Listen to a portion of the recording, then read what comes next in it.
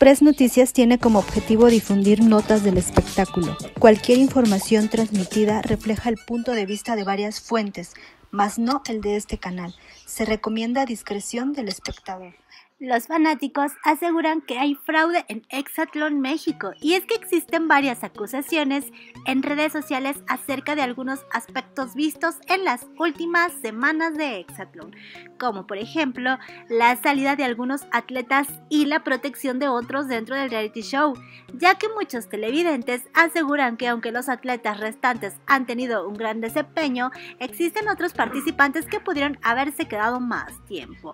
Una de las acusaciones más recientes rumbo a la gran final es la salida de Maki, atleta azul, que perdió contra Paulina Martínez, atleta roja que actualmente también quedó fuera de la competencia. Y es que la salida de la Amazona fue señalada por los televidentes, quienes aseguran que la producción orquestó todo para su salida y que así la atleta pudiera descansar y regresar para la siguiente temporada.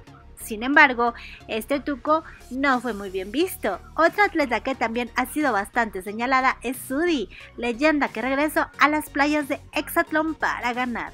Desafortunadamente para ella su desempeño ha sido uno de los peores y aún así sigue en la contienda situación que deja muchas dudas hacia la producción.